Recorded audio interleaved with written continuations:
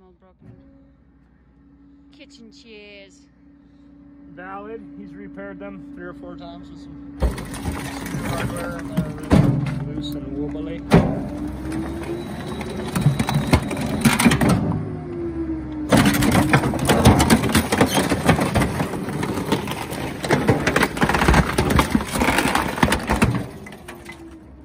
Wow.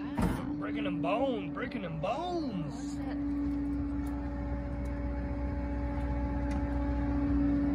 That's Automotive or edible? I don't know. Usually not one and the same. That was fun. Stupid paint. Somebody